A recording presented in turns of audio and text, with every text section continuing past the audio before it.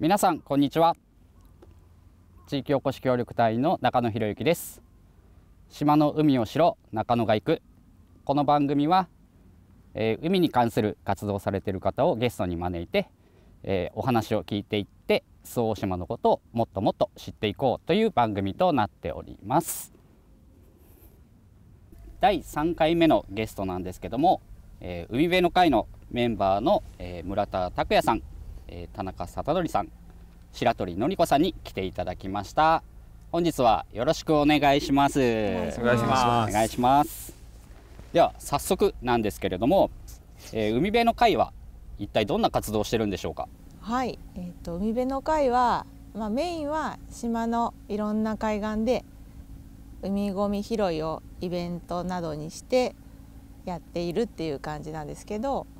あとは夏休みにその拾ったゴミで工作教室を小学生を集めてやったりだとかプラスチックストーリーっていうその海のゴミこのままだとそのうちプラスチックゴミの方が魚より多くなるっていうような話を聞いたアメリカの小学生たちがいろんな取り組みをするドキュメンタリー番組があってそれの上映会とか海辺で海に関する絵本を読もうっていうようなこともやりましたね。そういう遊んだり拾ったりそんな活動をしています。実はですねあの昨年11月に、うん、えー、行われた海ごみゼロワークショップっていうのを開催されたんですよね。はい、はい、実際にそこに潜入してみましたので、えー、まずは VTR を見ていきましょう。中野が行く。本日はここ服部屋敷で海辺の会が主催するワークショップがあるということでやってきました。では実際潜入してみましょう。今日は海ごみゼロワークショップあと周防大島町ということで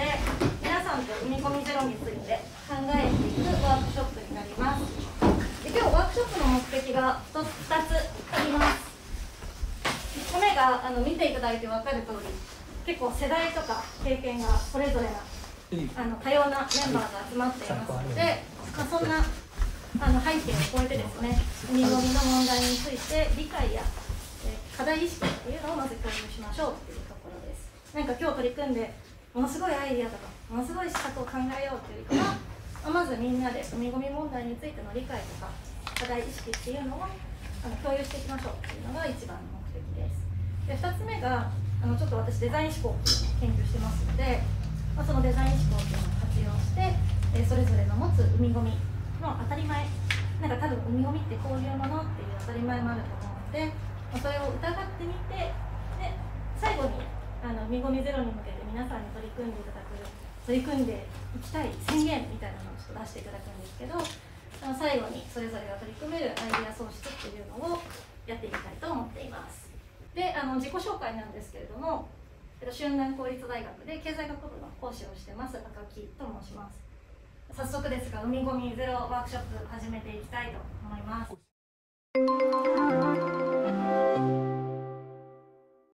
あの私あの地元で、えー、ゴミ関係ももともとはですね海の関係のいろんなことをやろうとしたんですが結局環境問題そのゴミに行き着いてしまってですねこのところ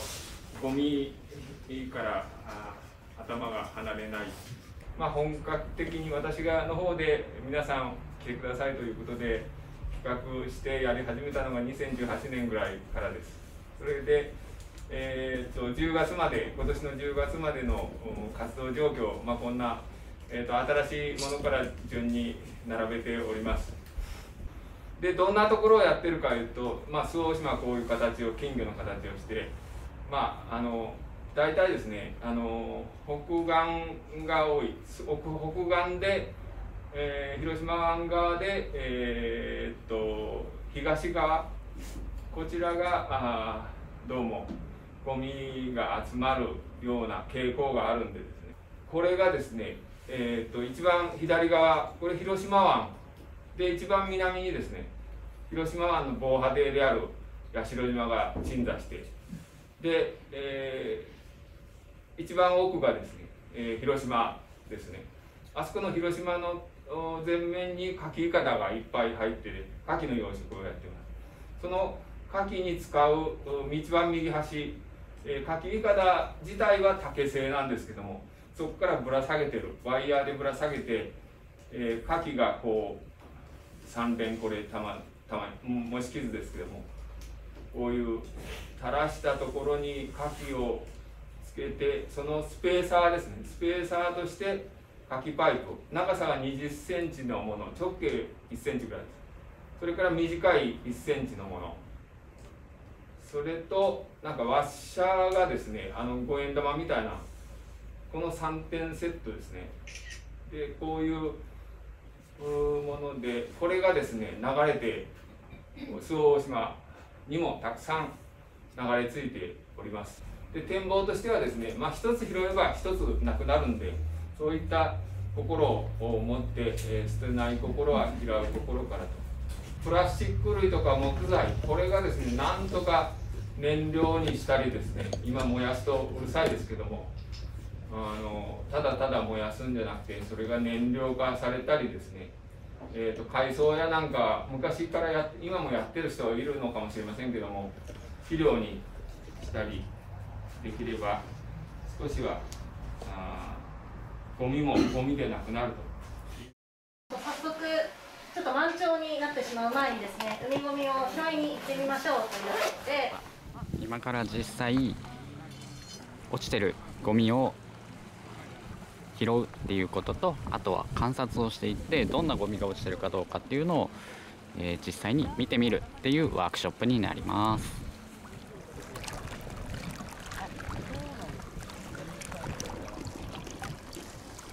やっぱこういったカキパイプの残骸が結構多いですね。えー、新宮島を15分ぐらい二十数人で、えー、清掃したんですけどもこれだけのゴミが集まりましたデザイン思考は何かっていうとこのいろんな種類のデザインを考える時の共通のものの見方とか考え方のことを言いますでここからワークなんですが海ゴミ物語っていうのをちょっと考えていただきますでここにあの6コマスタートからゴールまであるんですけれども、えー、海組はどこから来て周防大島にたどり着いてでどこへ行くのかっていうところをですね考えていただきたいと思います。おむつだとどんなストーリーなんですか？ね。どう思います。おむつなんでなんで海に流れたんだろう？めっちゃ気になる。そうそう。トイレで買えるよね。海に落ちなくない？なんで落ちたんだろう？いやもう置いてくんじゃないですか。置いてくってことは海でそれが海に雨なんかで流れて海に置いてくってことはその前何してたと思う。なるほど。キャンプに来てて、うん、家族連れでで楽しく遊んでてっていう感じでこうストーリーを作っていってみてください。そうそう拾えないところに落とす。パターンが欲しい流れたよそれぞれが作ったアイデアをしてですねチームで一つのアイデアに統合しましょう。あの一つにまとめてもいいし誰かの選んでもいいし誰かと誰かの組み合わせをしてもいいのでとりあえずチームで1個ですね作りましょう。まだこっちがあるよ。今できたやつまとめたらこんなまとめたらバーって書き出したらこんな感じですけど、あとは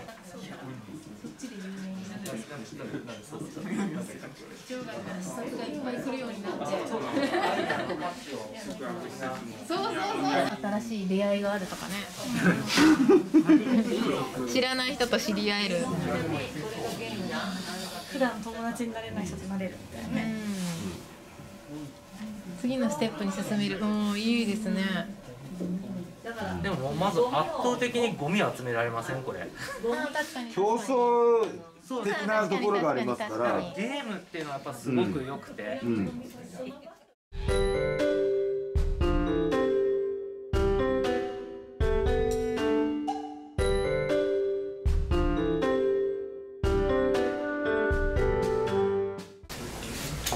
今日めっちゃたくさんゴミ拾ったな私これ鑑定士持ってこう。私はお願いします。はいお願いします。あーよく拾ったねこんな大きなゴミをすごいねさて鑑定するからね今からちょっと待っててねわかりました。どんなあれかねおーどうしようかな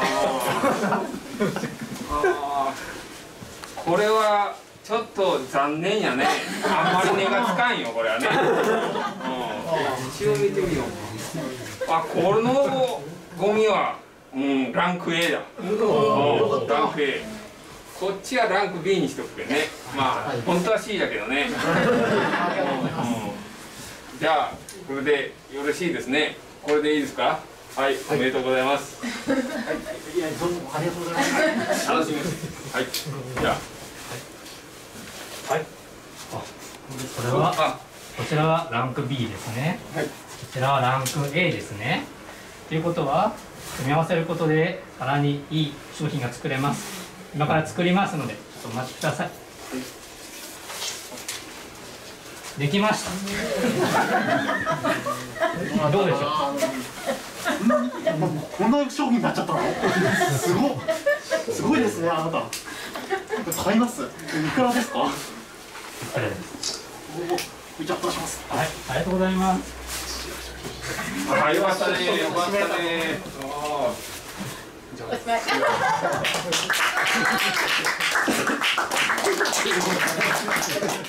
はい、ありがとうございます。なんか私も改めて、なんか海ゴミを価値に変えるみたいなのが多かったなと思っていて、まあ、お金に変えるもありましたし、別のものに価値のあるものに変えて物々交換するっていうのもありましたし、なんか単純にこうゴミじゃなくて、それをどうね、どういう価値に変えるのかっていうところが考え今後考えていけるといいなと思ったのと、やっぱり最初に作った海ゴミ物語じゃないですけど。なんか想像力を膨らましてこのゴミはどこから来てどこに行くのかなっていうのをなんかちょっと日々あの考えられたらいいんじゃないかなっていうのを改めて思いました。実際に海ゴミゼロワークショップでは、えー海ゴミゼロに向けて、えー参加者の方が、まあ、デザイン思考を使っていろいろとアイデアを出し合ってしかも最後はねグループワークを寸劇でやるという面白いことも、えーやっていました。で実際に田中さんが、えーワークショップにあの参加されてたんですけどもいかがでしたか？一番まあ印象に残ってるのは、えー寸劇ですか。で4つの班に分かれたんですかね。それで、えー寸劇を入れましょうって。でみんな恥ずかしがってやらないんかなと思ったらところがどっこい。みんな一生懸命になって。非常にですねおお面白い。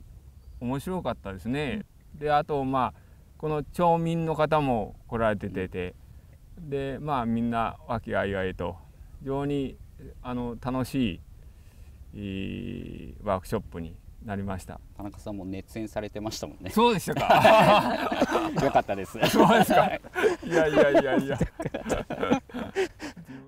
では村田さんにはい質問なんですけども、はいそもそも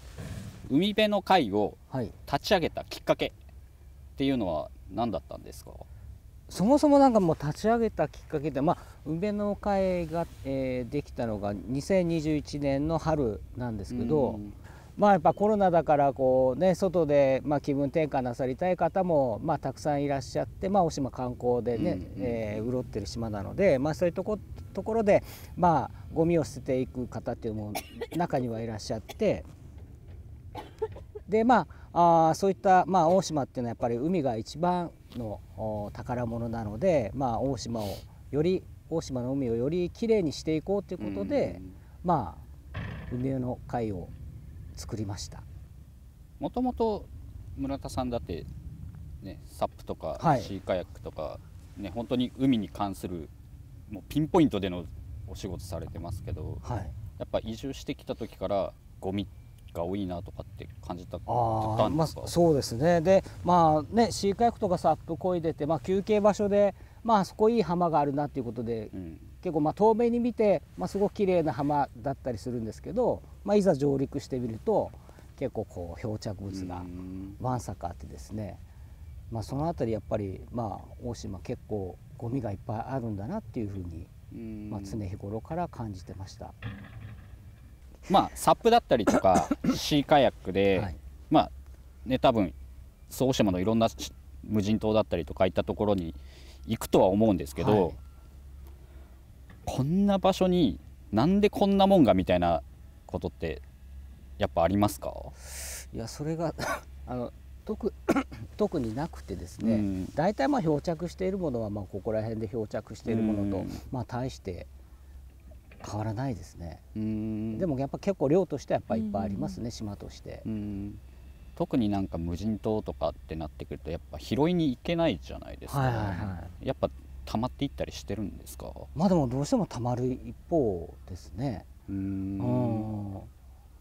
でまあツアー中にちょっとねお客さんとこうゴミ拾いしたりすることもあるんですけど、まあやっぱりこう量がすごいのででもまあ量はすごいけどまああまあ拾い続けるしかないので、まあそこはまあやってますけど。なるほど。じゃあ田中さんに質問なんですけど、はい、まあ、今まで長い間多分ゴミ拾いってされてきたと思うんですけど、はい、一番印象に残ってるゴミって何かありますか？一番の印象はですね、うん、びっくりしたのはあの冷蔵庫の蓋。これが流れ着いてた初め何かなと思ったんですよね。びっくりしましたね。あまり流れてくるようなもんじゃないですね。そうですね。皆さん多分海が好きでこういう活動されてると思うんですけど周防大島の中で隠れた映えスポットお一人ずつおすすめなところがあると思うんですけどじゃあまず村田さんから。ありますか？まあもう僕はまあ普段まあ小泊という場所に暮らしてるので、やっぱりこう小泊から見る、えー、笹島四子島萩島のこう島がポツポツポツとある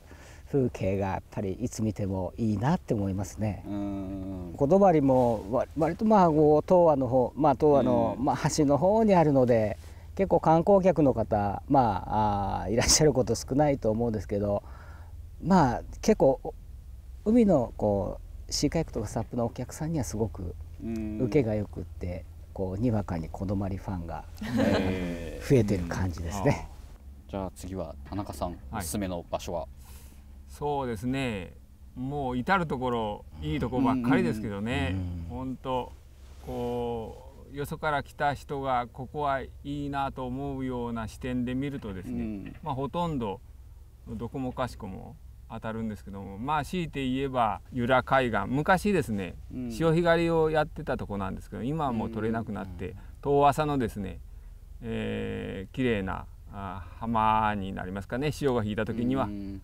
そこがですねまあなかなか遠浅のところここの島にはあまりないんでですね、うん。えそこがで国道がお中の方通ってるからですね。皆さん今あまり知らない場所じゃないかなと思います。あの道路を通っても見えないんでね海岸が。でそこへ行くと、まあ、遠浅広がって、えーと、アマモの小さめのやつコアマモっていうんですけども、あれがかなり生えているところでですね、えー、なかなか潮が引いた時に行くといいところ。じゃあ最後白鳥さん。はい。私はやっぱりあの引くまで育ったので引く間にあるあの白鳥ヶ浜という海岸から、こう伊勢島って言うんですけど本当は。あの小島が見えて宇鹿島が見えるっていう景色があって。でまあ平井丸がね、えー、一日に何回か行ったり来たりするっていう風景がやっぱり子どもの頃から見慣れてる景色なのでこう落ち着くというか、うん、そんな感じがしますね。はい、今後ですね、まあ、この海辺の会がどんな風になっていけばいいなって思ってますか？やっぱり海辺の会っていうのはその海ごみ拾いもやっぱりメインでやるんですけど、うん、あとは村田さんみたいに海遊びっていう面で海と関わるとか、私はまあ民宿で飲食とかやってるので、うん、そういう食べ物を通じて海と関わるとか、うん、でそれと今までやってきた活動の中でやっぱり子どもたちとゴミ拾いをしたり何かワークショップをしたりする中で、うん、子どもさんの中でも気づきがあるんですけど一緒に活動する我々というか大人にも反対に気づきもあったりして、なんかそういうのをいろんな切り口で重ねていけたらなっていうふうに思いますしやっぱり一緒にゴミを1個でも拾った人は捨てないと思うので、いろんな人がそういう海ゴミに関わるシーンっていうのをあの一緒に作っていけたらいいなとは思ってますね。あちょっとね話が変わるかもわからないけどその海離れっていうのがこれ全国的に言われてるんですよ。うん。えー、例えばですねあのここの島の小学校でもみんなプールを持ってる。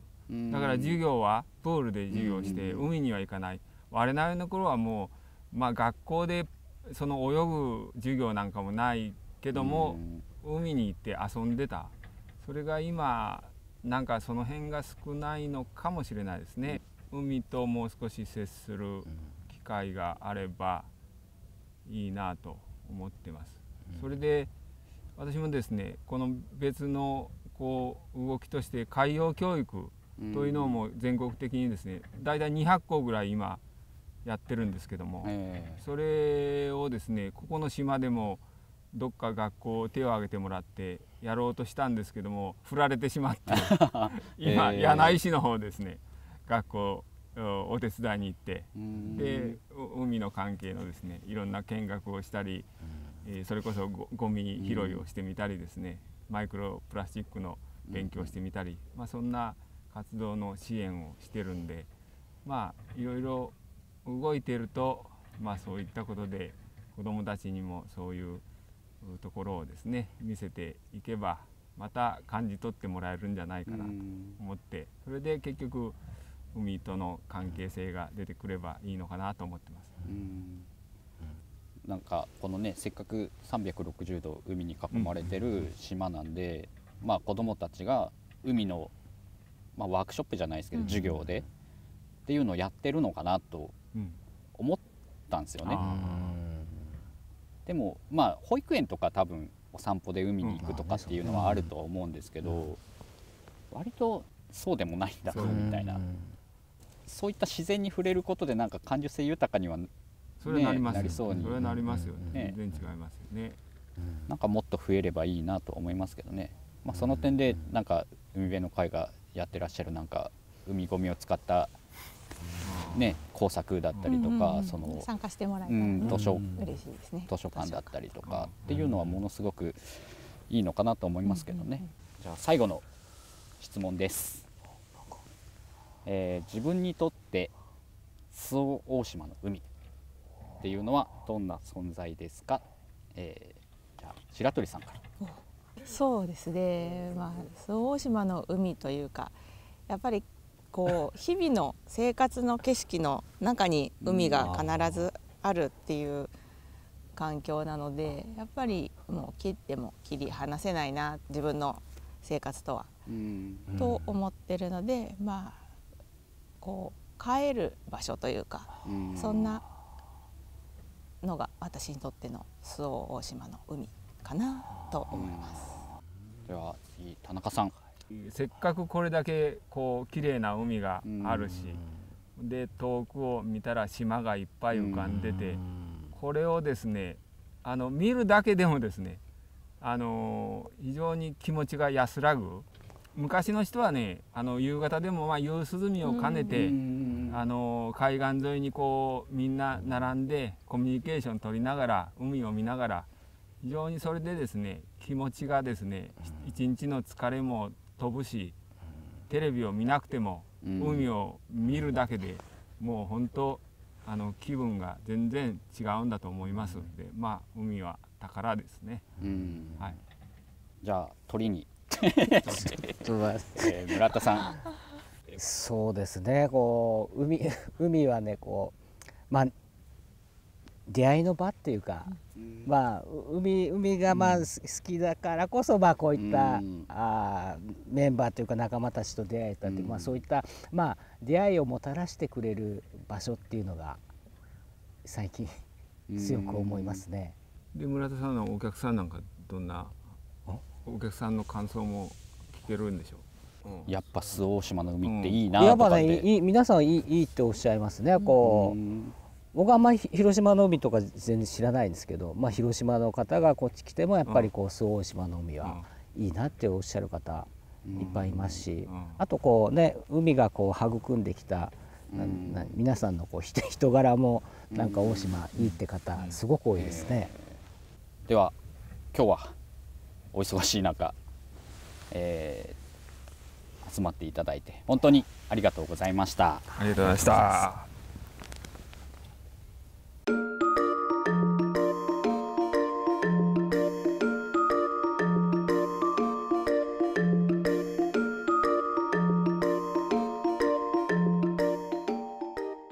はいということで今回は海辺の会のメンバーの方たちにいろんなお話を聞きましたやっぱりこの島の海を守ろうとする、えー目的があっていろんな活動をされてらっしゃいますけども本当に海のことをしっかり考えて、えー、きれいな海を周防大島に残していこうという、